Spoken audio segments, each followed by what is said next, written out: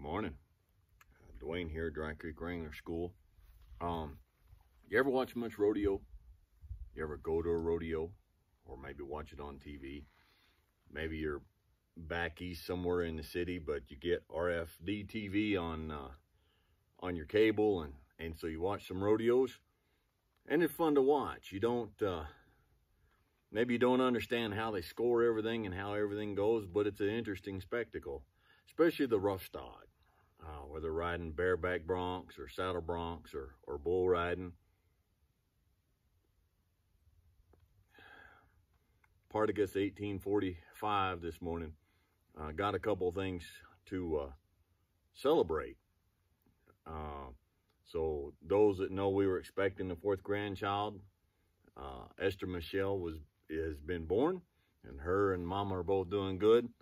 And as of this morning, as a recording of this, the channel hit 10,000 subs. I have no idea how that happened, but I thank you for it. Um, and uh, when I started this channel, I thought, well, if I get 100 or 200 subs, maybe somebody out there get help. I never expected this. So this is all kudos to you. Uh, and I appreciate it. Humbly, gratefully appreciate it. So you're sitting there watching a rodeo, watching rough stock. Let's say bareback bronc riding. All right. The announcer says chute number one. And so all eyes go to chute number one.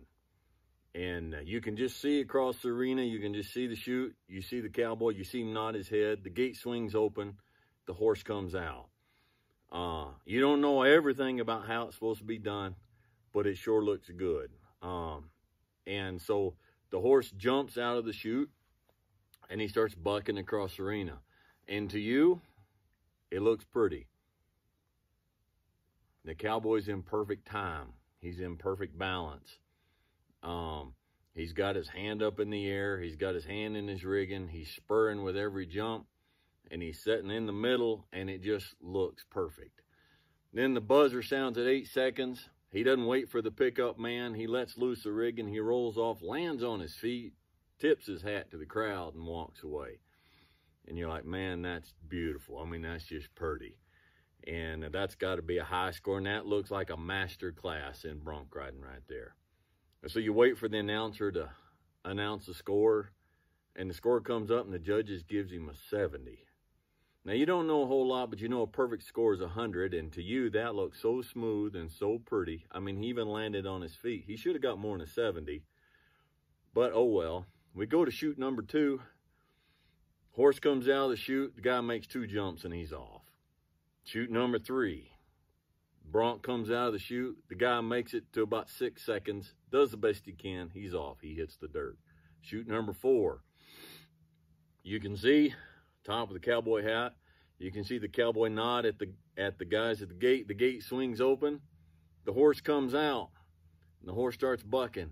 Now you can see this guy's riding, but you compare it to the first guy, and it's not as smooth. It's not as pretty. Yeah, you marked him out. Yeah, he's spurring. Yeah, he's got his hand up in the air, but he's not as showy. And if there's a couple times it looks like he's in trouble, it looks like he's coming off a little bit to one side, it looks like he's gonna he's gonna come off. But he makes it to the buzzer. And he has spurred every jump.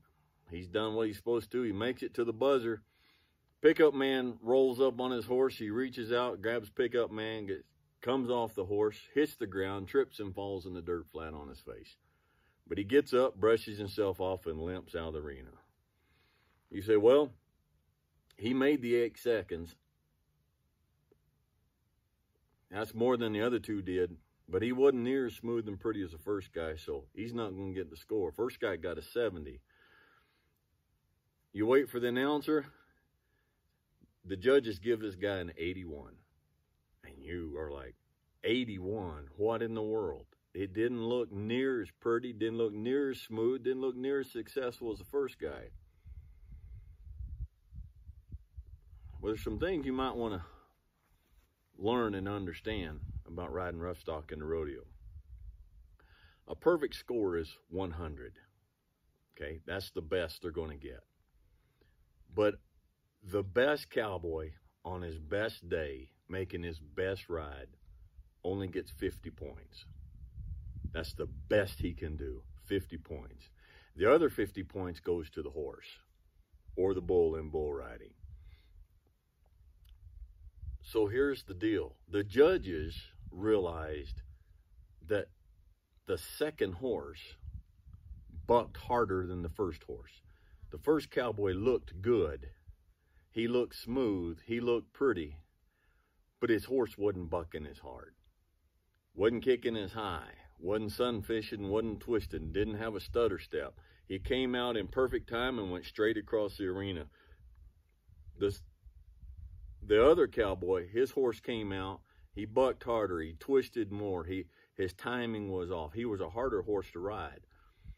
In rodeo, like in life, there ain't no money in easy riding. There's no money in easy riding. A couple more things about riding in, in rodeo, riding rough stock. Cowboy doesn't get to choose his mount. You don't get to pick your bronc. When you show up and uh, you pay your entry fees, they assign you they assign you who you're going to ride, and that's who you get. You ride whoever they that they assign to you. And I've got a son who rode rodeo some, and uh, I've been back behind the chutes with him, and I guarantee the Cowboys are not behind the chutes saying, "Oh, I hope I get that little pain over there." He's kind of a powder puff. He don't buck very hard. I, I know I can ride that one. I rode that one uh, in another city last week. Doesn't work that way. They want the tough ones. They want the hard bucking ones. They want the, the big ones and the stout ones because that's where the money is. That's where the glory is. There's no money in easy riding, and they don't get to pick their mounts. That's life. Son, that's life. We don't get to pick our bronc. Our bronc is our life, and we don't get to pick it. You don't get to pick. I didn't get to pick my physical attributes when I was born. We don't get to pick our family. We don't get to pick where we're born. We don't get to pick our circumstances. Uh, that's the bronc that is assigned to us. And we're expected to ride it. And you say, well, I, I came from a poor family. And I have an alcoholic, I had an alcoholic abusive father. And I wasn't raised uh, with with this kind of teaching and this kind of training and this kind of understanding. And I was beat and abused when I was a kid. Yeah, you were assigned a bad bronc. So the glory is if you ride it. Listen, people who are born, this is, stay with me here, all right? People who are born in a really good family, who are born with really good genetics, uh, who were born financially secure, who are put automatically in a good school, uh, whose parents pay for them to go to college. And they want a, a doctor or a lawyer or a politician. There's nothing wrong with that. Nothing wrong with any of that. Okay? That's not what I'm saying. All right? But we look at those folks and then we look at our life you're born to poor parents who couldn't went to public school. Uh, parents couldn't pay for you to go to college. Uh, you were born uh, physically weak, or or or you had a handicap, or or whatever. Um, there's more glory in riding a bad bronc than there is a good bronc. And so what we have to do in life is is we have to stop saying, I've got a bad bronc. Life ain't fair. I didn't get any of the good breaks. Life ain't fair. No, what we need to do is embrace the difficult ride that we've been given and know that's where the glory is. And it's also, you can look at it and you can take this metaphor, uh, not just one bronc for life, but life is made up of a lot of broncs. A rodeo rider on a circuit, he rides broncs all the time. He'll ride, and maybe he'll ride more than one at one rodeo, and then he'll jump in his car and, and he'll tear off through the night, and he'll he'll do another one. Well, we all have our daily broncs to ride, and we don't get to pick them. They just they come to us, and some of them are hard. and they buck us off. And what do you do? Listen, when Cowboy gets bucked off in the arena, there's some things he cannot do. He can't lay there in the dirt and cry. He can't sit there and kick and pound his fist in the sand like a little child throwing a tantrum in the middle of mama's floor um, because he got bucked off because he didn't get the horse that he wanted to ride. Of course, he can't do that. He can't get up, fake a limp off like he's some kind of soccer player or or these modern NBA players flopping all over the court pretending to be hurt. Now, he can't limp off and and say I'm not riding anymore. I quit. He never going to be nothing if he does that. He gets up and he goes to the next bronc. I tell you what else he does. He studies and figures out what is it in his technique, what is it in his way that got him bucked off. The way he does things, his technique, there's a weakness somewhere. What is it with his riding that he keeps getting bucked off? And he goes and learns and studies it and he improves it and he gets better. And the next bronc comes and he rides it to the buzzer. Look, we all get bucked off. There ain't none of us walk on water. None of us walk on water. None of us get through this life successful at everything we do. None of us get through without failing. You know, sometimes sometimes we can say, you know, that horse was just that horse was just too much. I couldn't ride him. But sometimes we got to say, you know, I wasn't a very good rider. I got myself bucked off.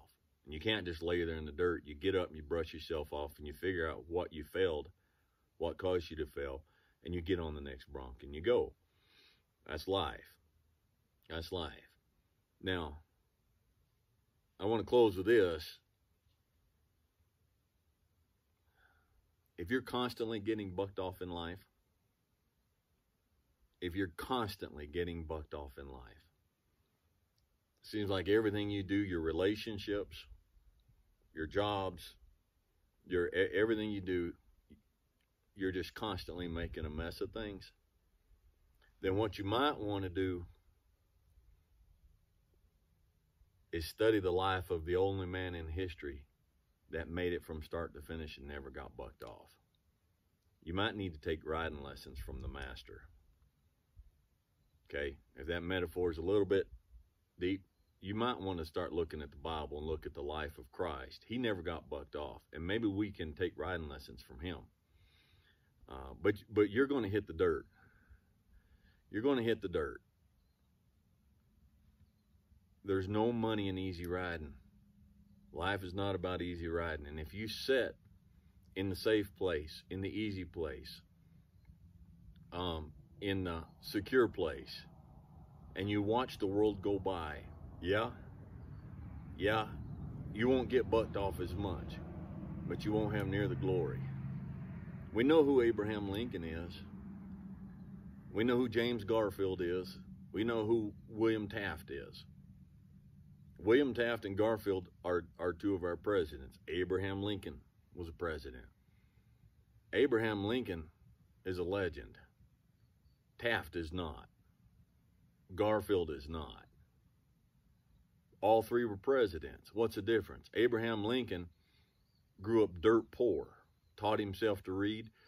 You should read his life on how many times in life he failed at business, how many times he failed in his election bid into the Senate, how many times he failed as a lawyer.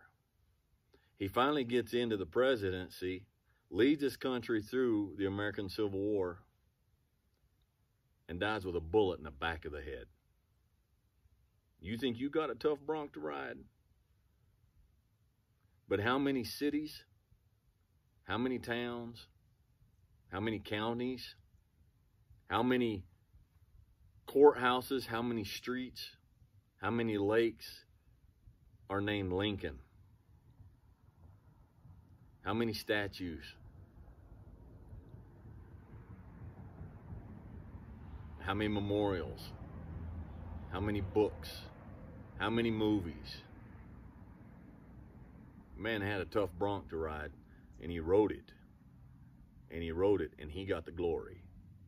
There's no money in easy riding.